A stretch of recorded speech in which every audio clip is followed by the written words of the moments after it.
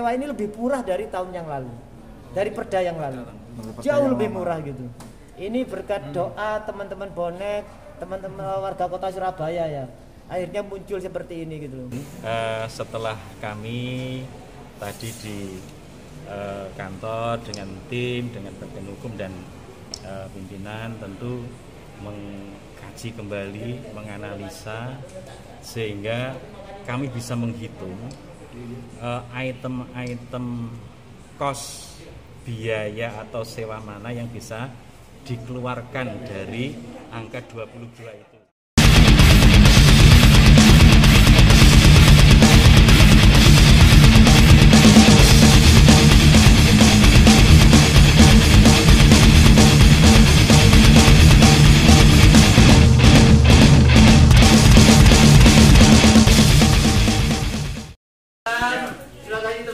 Pansus. Kita perlu hanya satu pertemuan lagi untuk uh, finalisasi.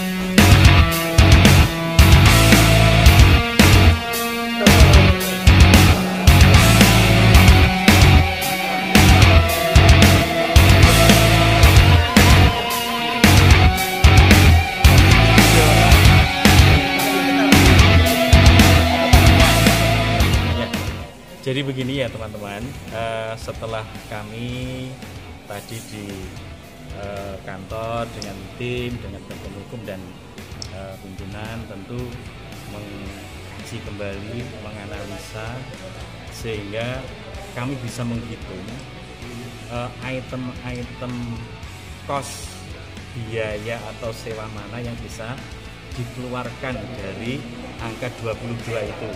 Contoh, ketika di situ muncul biaya listrik ketika penggunaannya itu sampai dengan malam hari. Misalnya sore sampai sore tidak ada masalah. Tapi ketika sore sampai malam berarti dari sore ke malamnya ini hitungannya per jam nah, muncul angka eh, sekian ribu misalnya begitu. Itu ada angka-angkanya. Begitu juga penggunaan air dan sebagainya. Sehingga di situ ada se apa namanya eh, pengurangan biaya sewa dari yang sebelumnya 22 juta menjadi 11 juta 580 ribu. Sebetulnya teman-teman, ini biar teman-teman juga clear memberikan eh, informasi ke ke warga eh, masyarakat bahwa kalau kita bandingkan dengan perda lama dibandingkan raperda yang baru itu sebenarnya lebih simpel, lebih murah, ada selisih di perda lama, artinya lebih mudah di perda lama. Tetapi karena kita harus memperbaharui dengan perda baru, karena kondisi stadion juga lebih bagus dan harus disesuaikan dengan nilai sekarang, sehingga tim operasional itu menetapkan harga eh, apa namanya sewanya itu sebesar itu.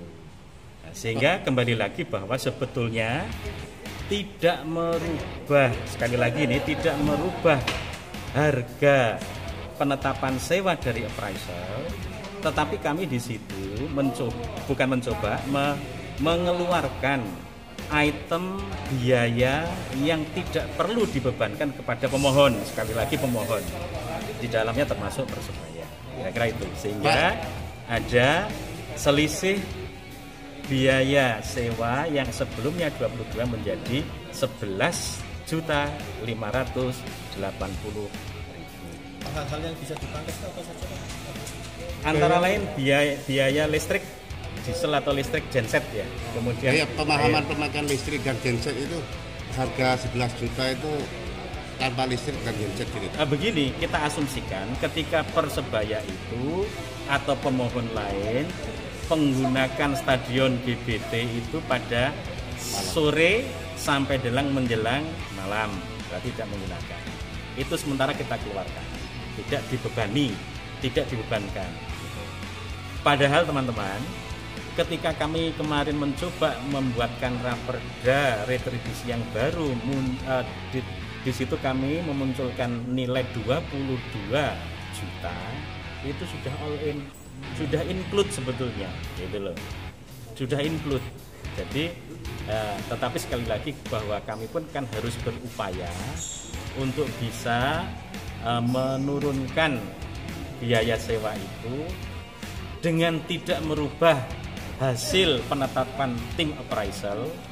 Berarti kami harus mencoba untuk menghilangkan sewa yang tidak digunakan tetapi ketika nanti ternyata persebaya pertandingan sampai dengan malam hari dan sebagainya tetap otomatis nanti akan dibebani biaya tambahan untuk listrik genset lampu dan sebagainya. Berarti bisa disewa per jam ya Pak?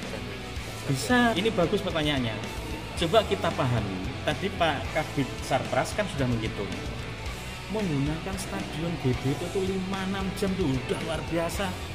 Sudah lama lama sekali. Artinya kenapa harus dihitung 24 jam sehingga muncul 444 juta kalau seandainya digunakan 5, 6, 7 jam kalau 5 jam aja kalau dengan tarif yang lama kan cuman 110 juta dan 144 juta kan tidak yang 440 tadi gitu loh. Artinya apa di sini? Ketika stadion GB itu dipakai cuma 5-7 jam, ada sebuah nilai yang masih maton, nilai yang masih masuk akal, nilai yang masih mengikuti pada situasi sekarang. Kira-kira ya. Di kompetisi nanti Persebaya kan kemungkinan 17 pertandingan. Apa memungkinkan untuk kontrak untuk 17 pertandingan itu? Begini, kita lihat yang yang jelas begini Mas. Terkait dengan kontrak kan ada mekanismenya, bukan mekanisme retribusi. Di situ mungkin ada eh, mekanisme sewa, kontrak dan sebagainya. Tentu itu punya hitungan tersendiri dan dengan catatan selama di GBT tidak ada yang. Dan itu, ya. Menyesuaikan jadwal dan kondisi stadion.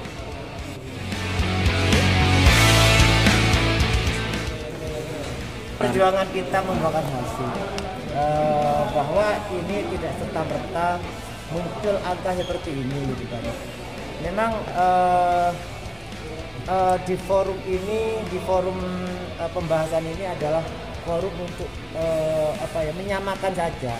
Pembahasan-pembahasan untuk urusan yang sifatnya harus angka segini kita bahas duluan memang. Oke, alhamdulillah. Di perda raperda ini dis- eh, disepakati sewa GBT per jam 11 juta 580 per jam. Final ini. final sudah final. Kecuali ketika malam menggunakan listrik itu ada tambahan 2 juta 500 kalau menggunakan listrik listrik eh, apa lampu itu genset itu itu. Udah itu aja final. Terus air penggunaan Nah, air. kalau air per pertandingan artinya kalau Persibaya menggunakan dalam satu pertandingan itu tiga jam maka hanya 33 juta plus eh, air plus air berarti 2 juta setengah. 30 35 juta. Artinya sewa ini lebih murah dari tahun yang lalu dari perda yang lalu. Jauh lebih murah gitu ini berkat doa teman-teman bonek teman-teman warga kota Surabaya ya. Akhirnya muncul seperti ini gitu. Makanya eh, sengaja hari ini kami tidak melibatkan tidak mengundang teman-teman di Persibaya supaya kami fokus. Tidak melebar ke mana-mana. Dan kenapa awalnya kami mengundang Persibaya? Supaya kami juga eh, bisa mengakomodir aspirasi Persibaya bonek. Lah hari ini kita clearkan eh, antara eksekutif dan legislatif dan menemukan titik terang 11,580 itu Cak, artinya raperda ini akan diteruskan ya? ya Pembahasannya. besok akan kita finalisasi akan di dok besok besok Besok berarti. besok kita dok Jadi Persebaya sudah tidak harus minta keringanan lagi ya? Tidak perlu saya kira kalau sudah kayak gini masa Persibaya mau minta keringanan sudah 11 juta 500 per pertandingan. Per jam. Sudah sangat murah bang. Cak, itu harganya turun itu inisiatif dari Dewan atau Pemkot sendiri yang menurunkan tadi? Ya jelas 10 10 anggota dewan ini memang mendesak secara bersama-sama untuk diturunkan dan ditemukan formulasi itu.